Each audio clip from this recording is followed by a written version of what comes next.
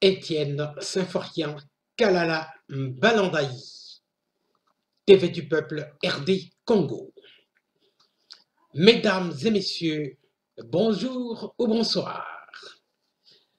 Bandeko Bayimboka Bote Nabino Banso.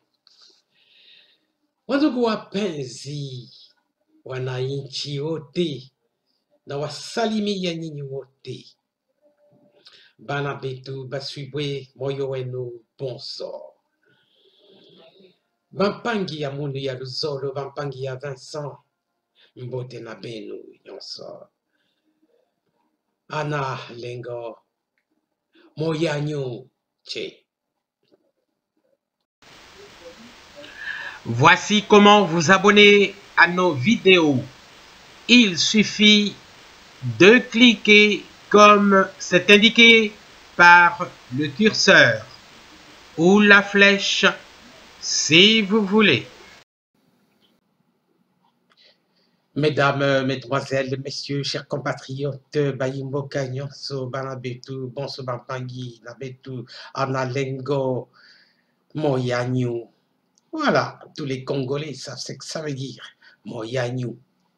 Bien sûr, cela nous a été légué par euh, euh, notre compatriote qui est déjà décédé, la star euh, de la rumba congolaise, Papa Wemba.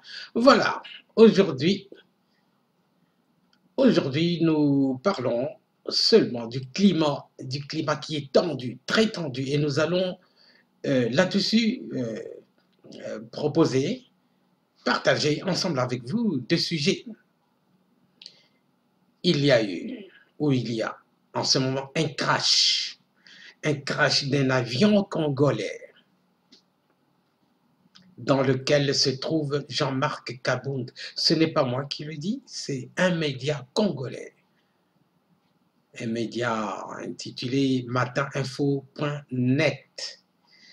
Et deuxièmement, ça ressemble aussi à un crash, mais ce n'est pas tout à fait un crash. C'est un pyromane je l'appelle pyromane parce que c'est un pyromane volontaire qui cherche de l'huile et qui met dans, le feu. Il met de l'huile dans le feu. Le feu est déjà là, il rajoute de l'huile. C'est Jean-Pierre Cambila, l'ancien directeur de cabinet de Joseph Kabila. En fait, d'après le média que nous allons lire ensemble avec vous, il traite le président de la République d'incompétent ou d'incompétence. Voilà, chers compatriotes. Alors, qu'est-ce qui se passe avec Jean-Marc Cabonde? Jean-Marc Cabonde promet de démissionner. C'est ça qu'on appelle crash du FCC. Pour lui, il ne sera pas question de la coalition FCC ni même de la coalition UDPS, UNC. Et cela à partir du mois de mars, peut-être le premier. Nous allons le lire ensemble avec vos chers compatriotes. Alors, cela se passe en ce moment, en ce net moment où il y a l'évêque Mukuna qui, qui fait le tour de la ville de Kinshasa pour euh, pour dire au peuple congolais que voilà, il faut la, dissolution du Parlement. Il y a également le président du mouvement lumumbiste euh, progressiste. Il s'appelle. Euh, il s'appelle comment Franck Diongo. Permettez, dira au téléphone. Je reviens. S'il te plaît, je te rappelle. Je te rappelle, hein. Ok. Permettez, chers compatriotes, j'ai répondu, sinon il continue à appeler, à appeler. Voilà. Euh, Franck Diongo, il démontre par A plus B que, voilà, il est euh, co-rédacteur de la Constitution. Cette Constitution-là, il est co-rédacteur. Il avait même participé euh, euh, au sommet de, de Sun City. Voilà. à la rencontre de Sun City avec le journaliste euh, euh non Voilà. Et là, il est sorti médiatiquement à la radio de, Top FM de, de Lusacqueno. Il explique, il démontre par A plus B que le président de la République peut dissoudre. Puisque le président dit le peuple d'abord, est-ce qu'on va l'écouter? Le peuple est en train de demander jour et nuit au président de la République. Il subit des pressions, de pressions de l'extérieur comme de l'intérieur, de dissoudre le Parlement et de se détacher de l'emprise de Joseph Kabila sur lui, de l'emprise du FCC, de la Kabila sur lui. C'est un fin diplomate. Hein. Il dit, oh, le FCC, ça va continuer, l'UNC, on va continuer avec. Ça, c'est ce qu'il dit. Mais est-ce que c'est ça qui se passe sur le terrain?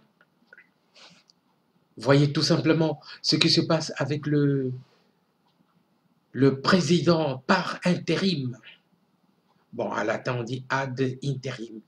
Oui. De l'UDPS. Pour le président, Jean-Marc Cabonde, c'est terminé. Hein?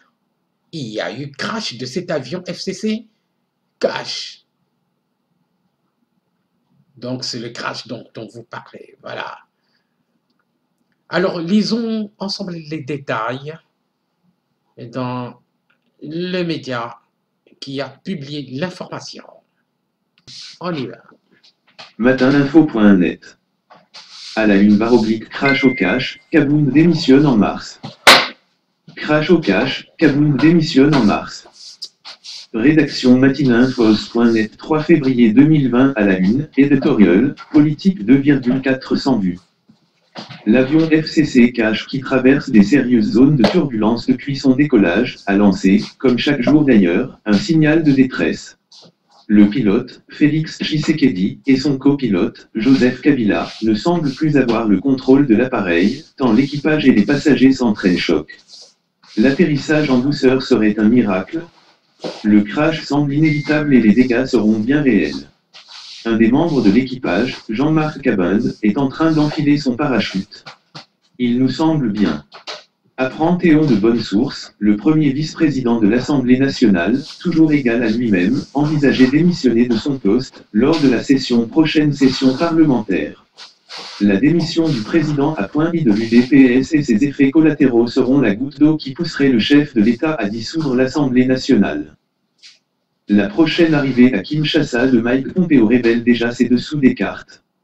En plus de tout aspect lié au protocole diplomatique, le secrétaire d'État américain vient réitérer la volonté de l'administration américaine à accompagner Félix Tshisekedi, à condition de divorcer avec son puissant allié, Joseph Kabila qui, pour les Américains, doit être poursuivi en justice pour, semble-t-il, blanchiment d'argent et financement du terrorisme, notamment. Ayant une marge de manœuvre très réduite, Tshisekedi Chilombo avait demandé du temps à ses partenaires pour affûter toutes ces tragédies. Ses récentes déclarations devant la diaspora à Londres étaient un ballon d'essai que Fachi avait lancé pour mesurer la réaction de l'opinion et surtout la réaction de ses partenaires. C'est d'ailleurs juste après cette déclaration que le secrétaire d'État américain a annoncé sa venue à Kinshasa. Rien de hasard. Il nous revient que le plan de sortie de crise de Martin Fayoulou a été approuvé. Mais, ceci devra passer par la dissolution du Parlement qui anéantirait la toute-puissance de Kangakati. Et, pour y parvenir, le parti du président de la République devra donner le ton. C'est en cette perspective que l'UDPS s'est réuni au centre Banda la semaine dernière pour, a-t-on dit, dégager la marche à suivre, selon les propos de son secrétaire général. Notre vision s'oppose donc à celle d'une république confisquée par un individu ou un groupe d'individus au détriment de la majorité de la population. Aucune excuse, aucune alliance, aucun arrangement politique ne pourront remplacer le bonheur du peuple, avait martelé Jean-Marc Gabund. Pour l'UDPS, la réussite du mandat de Félix Tshisekedi passerait notamment par la rupture des alliances avec le FCC de Joseph Kabila et l'UNC de Vital Kamer. PM Voilà, chers compatriotes, vous avez entendu Jean-Marc Kabound persiste et signe. C'est terminer les alliances.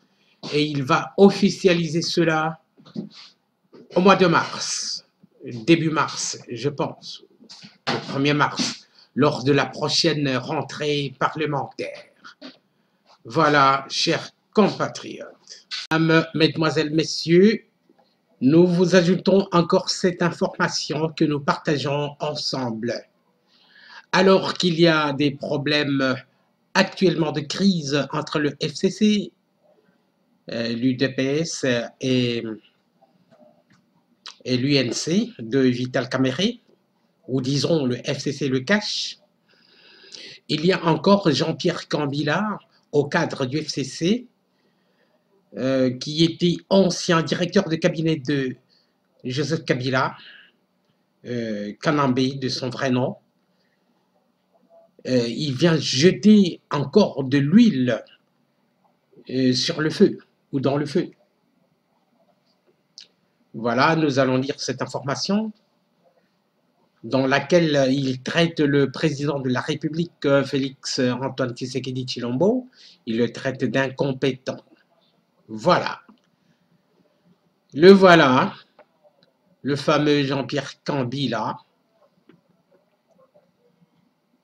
Voilà, nous faisons monter le curseur pour lire euh, toute l'information ou alors nous allons le faire lire par euh,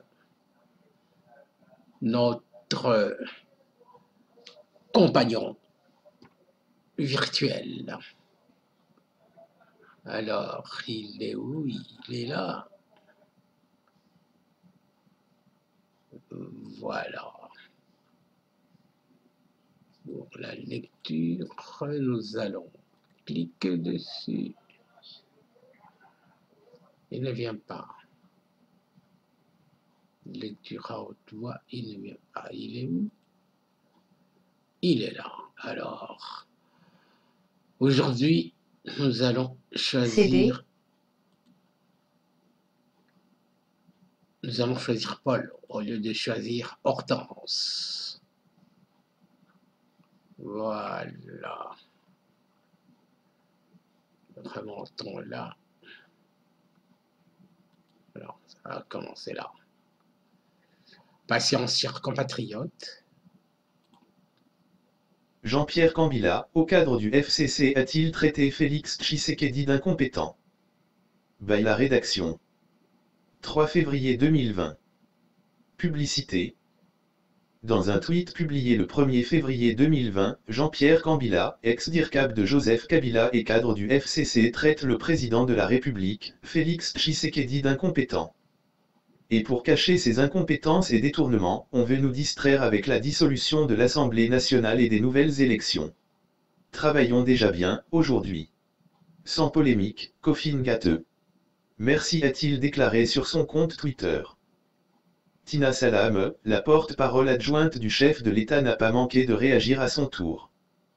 Qui traitez-vous d'incompétent monsieur Kambila a-t-elle interrogé JP Kambila sur son compte Twitter et à l'autre de répliquer. Madame, j'éviterai de polémiquer avec vous, je connais le fonctionnement classique de cette maison et de nombreux cerveaux s'y trouvent actuellement, mais reconnaissez aussi que beaucoup de vos collègues n'y ont pas leur place. Ils empêchent la coalition d'avancer. Je dénonce. Face à ce qu'elle juge comme une insolence au chef de l'État, Tina Salam demande à Jean-Pierre Cambila d'être conséquent de ses propos. Vous êtes cadre du FCC. Vous parlez de coalition vous êtes astreint au droit de réserve, d'autant plus qu'il existe un cadre de concertation des deux entités. Hors de ce cadre, dénoncer ne vous exempte pas, FCC, de l'imputabilité. Soyez en conséquent, virgule à menacer Tina Salam.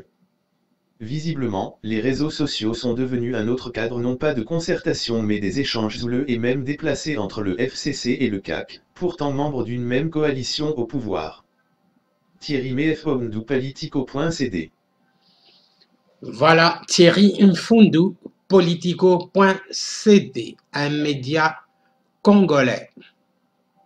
Voilà, nous allons revoir euh, notre fameux ancien dire de Joseph Kabila, Lui qui était compétent pendant 18 ans, ironiquement bien sûr.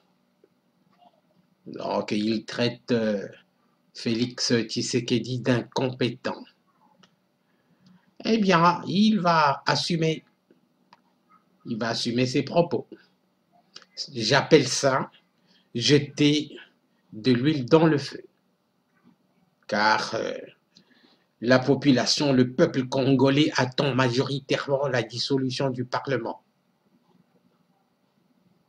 Bon, le président de la République, Félix Tshisekedi, dit que euh, le FCC va toujours continuer, mais la base, euh, ce que nous entendons là, dans la base, c'est différent.